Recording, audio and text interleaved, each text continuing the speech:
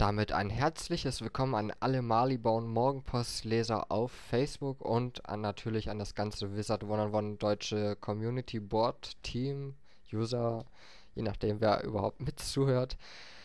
Wir machen heute für euch ein Let's Play zu Pirate One-on-One, dem neuesten Spiel. Okay, so neu ist es auch nicht mehr, schon knapp drei, vier Monate alt, aber trotzdem noch brandneu. Die meisten kennen es, die meisten aber auch noch nicht. Und wir wollen euch heute einfach mal einen Einblick in das Spiel geben und mit der Zeit natürlich auch weiterspielen und mehr Background zu dem Spiel zu bekommen. Ähm, das heißt, einfach neue Welten sehen, kommentiert in Deutsch. Ähm, ich versuche auch so gut wie es geht, ähm, die ganzen Texte auf Deutsch zu übersetzen und nachzusprechen. Vorweg, ich warne euch einfach mal, ich bin jetzt kein guter Sprecher in der Hinsicht mit Stimmenverstellen und so, aber ich werde mein Bestes geben für euch. Ähm, ja, für ist bestimmt auch für diejenigen interessant, wo nicht so gut Englisch können. Mein Englisch ist jetzt selber auch nicht das Beste, deswegen werde ich jetzt nicht alles Wort für Wort übersetzen, aber so gut wie es geht, möchte ich es halt sinngemäß aufs Deutsche hinaus übersetzen für euch. So, ich hoffe, ihr habt Spaß und denke mal, dann legen wir einfach mal direkt los mit der Charaktererstellung von Pirate One on One. Irgendwo in der Spirale. Entdeckung! Hier wird gleich was hochfliegen!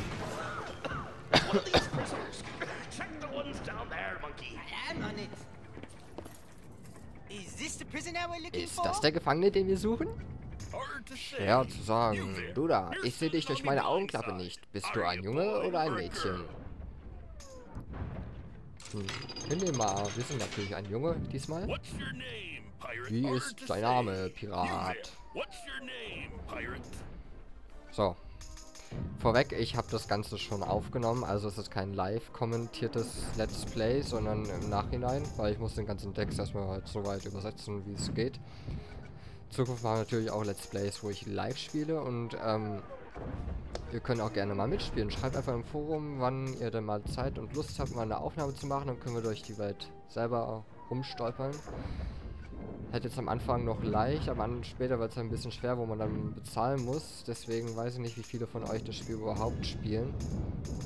Wenn nicht, ist natürlich auch nicht so schlimm. Hier in unserem Let's Play durchstreifen wir hier die Unweiten der Spirale als Pirat alleine oder mit euch, wie ihr Lust habt. Ihr könnt natürlich auch Kommentare schreiben, ihr könnt euch immer beteiligen. Was sollen wir als nächstes machen? Je nachdem. Aber das ist ja erstmal das letzte, erste Let's Play. Bin mal gespannt, wie es bei euch ankommt. So, Jetzt suchen wir uns hier aber trotzdem erstmal noch einen Namen aus. Ja, ich habe mich noch ein bisschen hier verkünstelt, aber wir haben mir irgendwie alle nicht so gut gefallen, deswegen haben wir jetzt einfach den Red Connor Mickelson genommen. Dabei, dabei bleibt's und jetzt geht's mal weiter. Wie ich dir gesagt habe, er ist es. Hm, vielleicht. Wenn du der bist, wo er sagt, dass du es bist, beweis es. Wir wissen, dass du ein Waisenkind warst. So, wie hast du deine Eltern verloren?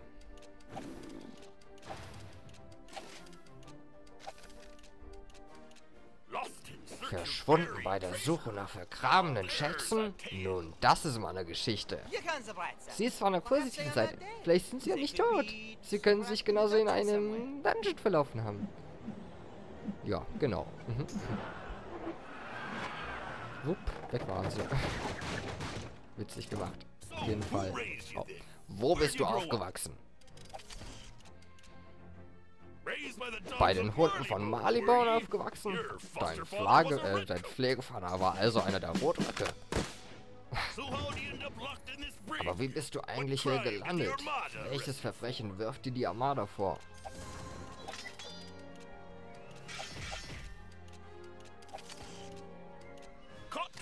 Du wurdest beim Schmuggeln von Waffen für die Verteidigung geschnappt. Ah, du musst also ein Musketier sein. Musketiers sind gut im Umgang mit Feuerpistolen. Immer ein Auge an der Kimme und eine ruhige Hand.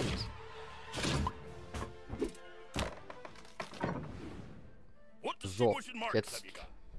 Das übersetze ich jetzt mal nicht, weil der blabbert einfach nur wieder, wie Mel Ampus damals halt gesagt hat, wie siehst du aus? Meine Augen spielen mir Streiche, junger Mann.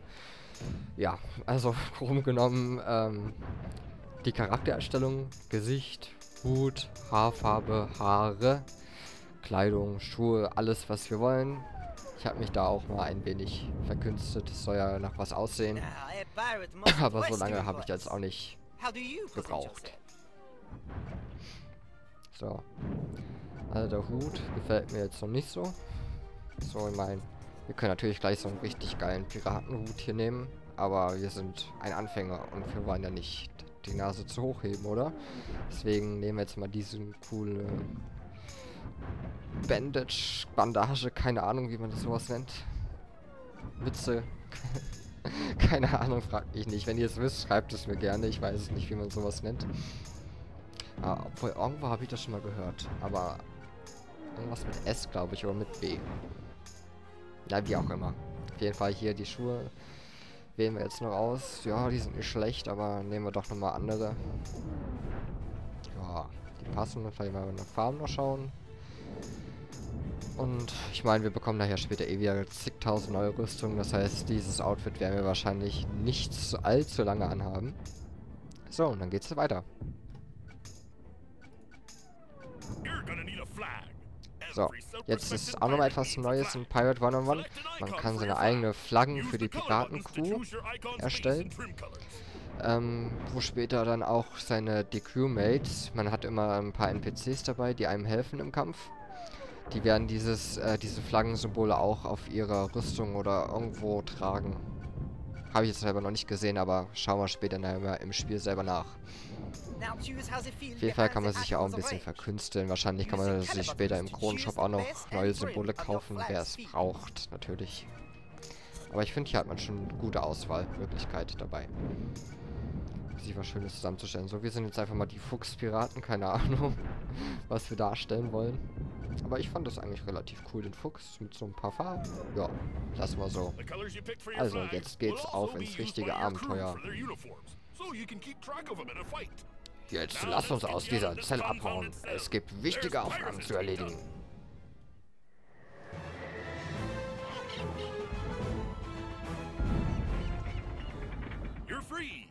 Use the arrow keys. That prisoner wants to talk to you. Walk over and press the X key to open the cell door and talk. Hi, ich bin Wing Chang. Ich muss mit dir gehen. Ohne mich wirst du schnell verloren sein. Komm, wir gehen. Du hast einen Kompagnon bekommen. Er wird dir im Kampf helfen. Mit Glück wirst du in einiger Zeit eine ganz große Crew zusammenstellen. Oh, das hört sich schlecht an. Wir sollten besser schnell raus hier. Sch schnell, geh am Ende des Flurs die Treppen hoch.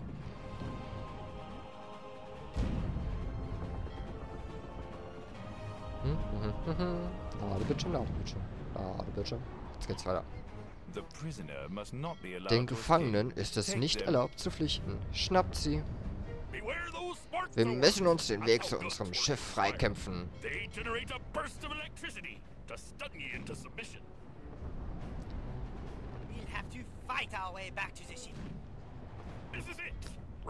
Lauf gegen die Armada Armada-Verteidiger, um den Kampf zu beginnen.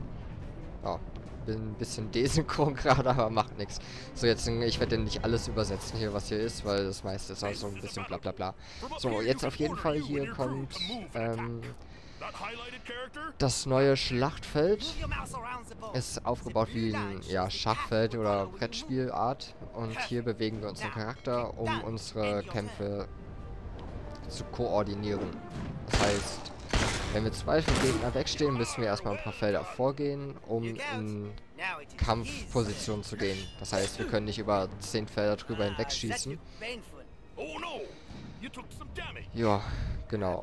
Also man sieht es eigentlich, es ist eigentlich gar nicht so schwer. Ich denke mal, das ist mir so ein System, leicht zu meistern. Äh, warte, wie geht der Spruch? Leicht zu handhaben, schwer zu meistern, sowas. So, jetzt stehen wir zum Beispiel hier ähm, ganz direkt am Gegner. Jetzt können wir ihn auch nochmal richtig angreifen. Jetzt wird uns das kleine äh, Wing, Wing, Wing Chun, wie heißt der? Wird uns jetzt helfen. Im Kampf, den können wir auch koordinieren, wen er angreifen soll. Und dann lassen wir ihn mal seinen Attack an seinen Angriff durchführen. Sehr stylisch, natürlich. Sieht auf jeden Fall schon mal sehr cool aus. Ah, es geht sogar noch weiter.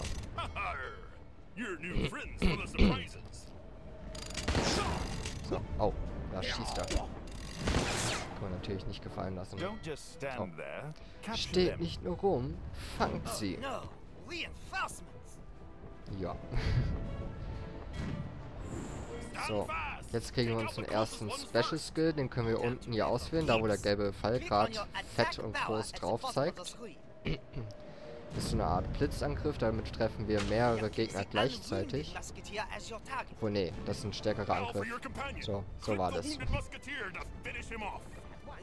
So, aber jetzt kommt hier uns die, dieser Kapitän hier, Barbossa, wie auch immer der heißen mag. Uns zu Hilfe. Mit dem können wir jetzt einen Special Skill ausführen, wo mehrere Ziele angreifen tut, was natürlich sehr cool ist. So, dann wollen wir uns das Ganze mal anschauen, wie das aussieht. Das war unser Special Skill. Der hat natürlich richtig reingehauen. Jetzt kommt hier der Wing Chun mit seinen super coolen Moves. Und er hier wirft ein paar Granaten rein. Ja. Beeindruckend. Wir haben dich wohl unterschätzt, junger. Pirat. Deine Freunde werden nächstes Mal nicht da sein, um dir zu helfen. Du wirst es noch bereuen, die Armada zu deinem Feind gemacht zu haben. Genieße deine Freiheit, solange du kannst. Boah, ist der gemein. Puff, weg ist er. Der Rauch verzieht sich. Der Armada-Anführer, er ist weg.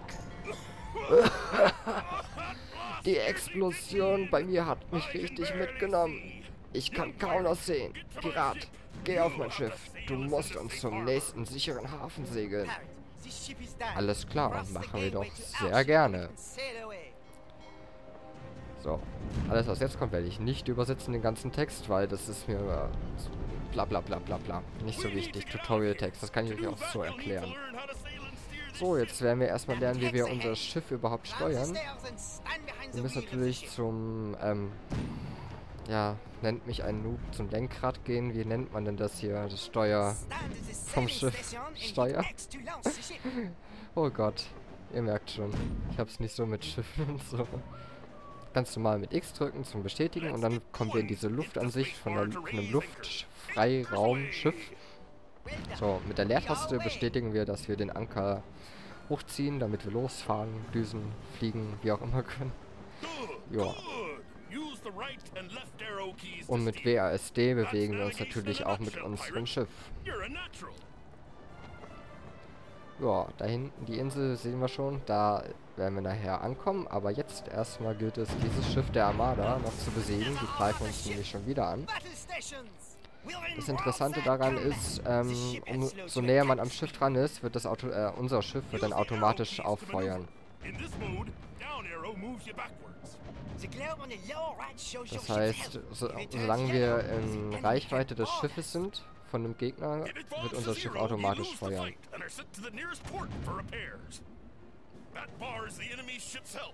So, oben sehen wir da, wo der Pfeil they're gerade destroyed. leuchtet, ähm, During broadside combat, your ship's ist die Lebensanzeige vom Schiff der. Gegner.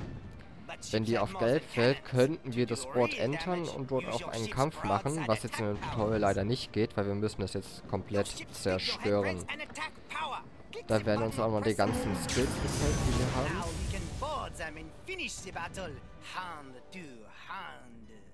Und der erste ähm, macht so ein paar. Feuerkanonen, Special-Kanonen. Der zweite haben wir gerade gesehen, da kommt so ein Zeus hoch und greift das Schiff an. Der dritte Skill, ähm, weiß ich gerade nicht mehr. Sorry, muss ich später nochmal schauen, wenn wir echt ein Click Live-Let's Play machen. Ich sehe es gerade nicht so gut. Der vierte. Skill heilt uns auf jeden Fall. Das cost ein bisschen vorgespult und übersprungen, weil seconds ist. Tutorial. So. Wenn wir den äh, Z drücken auf der Tastatur, dann können wir, kriegen wir hier so einen Speed. Und dann fahren wir jetzt hier in diese Luftlinie rein, damit wir hier, ähm, sicher sind vor gegnerischen Angriffen. Und wir sind auch schneller, wenn wir in diesem Ding sind. Ja. Die blabbern halt so ein bisschen. Also wenn man sich auf dieser Linie bewegt, ist es so wie eine, äh, auf dem Seitenweg von Wizard City. Man kann nicht angegriffen werden, man ist so gesehen safe. So. Hier wird uns jetzt nochmal einiges erklärt, was diese Symbole auf dem Schiff sind. Manche geben uns positive Buffs, zum Beispiel, dass unser Schiff repariert wird oder unsere Crew geschützt ist.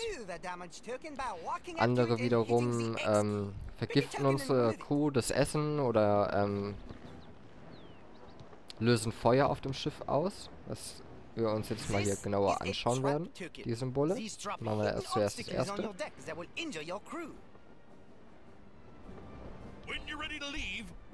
Ja, Also äh, wenn wir, wenn das hier wir auf unserem Schiff haben, dieses toxische Symbol, dann tauchen hier halt Fallen auf, die unserer Crew ähm, Schaden machen. Das. Feuersymbol äh, bedeutet halt, dass auf unserem Schiff, wie gesagt, Feuer drauf ist, was natürlich auch nicht so toll ist, wenn wir da nah dran stehen. Kriegen wir noch so ein paar andere Buffs, wie Schiff reparieren oder super. Kanonenschüsse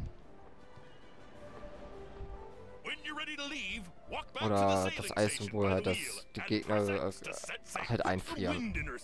So ganz genau mit dem Schiff soweit war ich im Spiel jetzt selber noch nicht.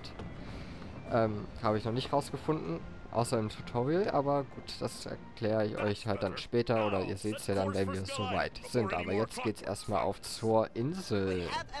Da sind wir natürlich ganz gespannt drauf. Das Tutorial verlassen, jetzt wird's ernst. So, aber ich denke mal, jetzt müssen wir den Captain finden auf der Insel. Das ist so der neue Mel Ambrose. Good luck and good hunting. Dankeschön, sage ich mal. Und damit würde ich sagen, haben wir unser erstes Video erfolgreich überstanden. Ich hoffe, ich habe nicht allzu viel rumgeplappert oder Wirsi- Wirsing, Wirsing erzählt. Wirrwarr erzählt. Ja, ich hoffe, ich habe es... Ja, boah, seht ihr, es ist schon spät, ich kann nicht mehr reden. Ich hoffe, es hat euch gefallen, den ersten Teil von Pirate One-on-One, dem Tutorial. Ähm, schreibt euch gerne die Kommentare drunter, wie es euch gefallen hat, ob ihr weitersehen wollt oder ob ihr vielleicht sagt, lasst den Piep, brauchen wir nicht. Wie auch immer, ich hoffe, es hat euch trotzdem gefallen und im nächsten Let's Play geht's dann richtig los mit Pirate One on One. Ciao.